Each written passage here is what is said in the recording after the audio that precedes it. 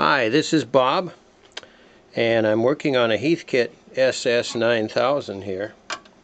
Was real happy to get this uh, SS9000. It was in a box of parts, a whole bunch of parts I got in a in a trade deal, and uh, it sat in my uh, basement here along with a bunch of other things, boxes of parts. And I got in there. I hope you can see what's going on here. I think my arm was in the way there for a while, but uh, I got in there and uh, and I found that this was in there and this is Heathkit serial number one. This is the one that I built in 1981 in the engineering department at Heathkit. That'll sit there like that all right. Now I wanted to show you a couple modifications that I think are worthwhile making. The first one here is to extend the CW dropout time. And I'm going to get in there nice and close. There we are. You see I put a ground lug right there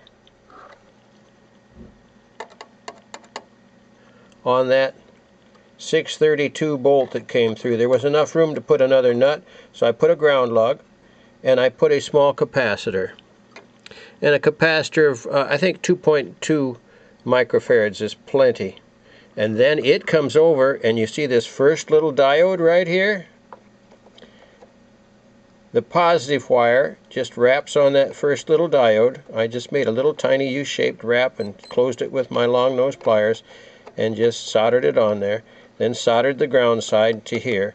And what that does is that increases your hang time on CW so that the CW, so when you're going, when you're working CW, the relay is not clack, clack, clack, clack, clack, clack, clack, clack, clack all the time, every time you push the key. It'll stay in, transmit longer so that you can do that. And you can adjust that, of course, with your CW VOX, VO, it's also the VOX control on the front panel. So it makes it really nice to have that because I work quite a bit of CW and I really like that. So like I say again, little ground lug here, extra nut to hold it on, and I ground the ground of this little capacitor, 2.2 microfarads, and I've got a little piece of insulation sleeving on there, and a little tiny hook goes to the end of that diode right there. And that extends your hang time on CW. That's a nice modification. The second one I think is really worthwhile. I wanted to show you. It's this wire right here and this modification is not done on this rig yet, but I've got it marked here with a little tag. And it's the yellow white wire. And you'll see here it is, uh, uh, let's see here now. One, two, three, four, five, six. It is number seven. I thought it was eight. Three, four, five, six, seven. Yeah, it is number eight. This is number one here. I'm not showing it very well. This is number one here, and this is number eight. So you remove number eight from this uh, socket carrier here, this Molex carrier, and that is uh, that will then give you RIT tuning or tuning shift tuning for transmit and receive.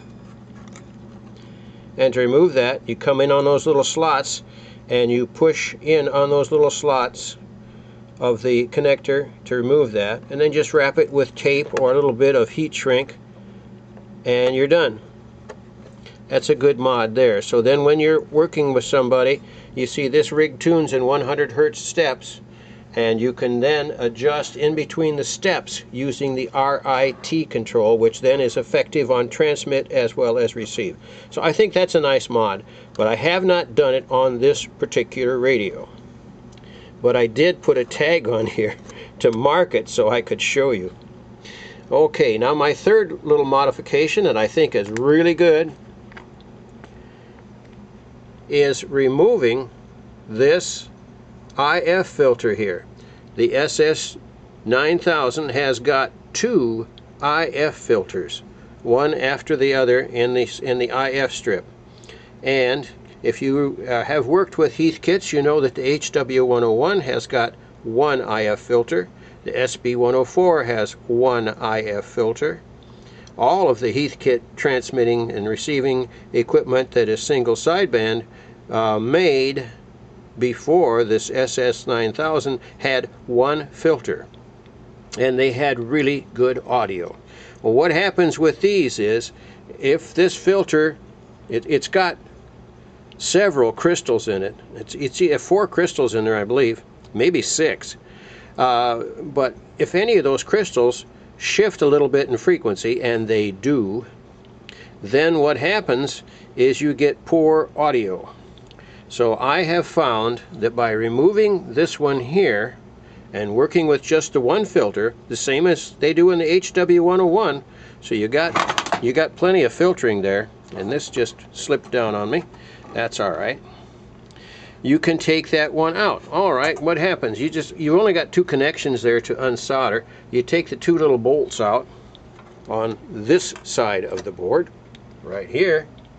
You take these two little bolts out one here and one here. And then you just put a 0.01 microfarad capacitor in there. Here's the capacitor.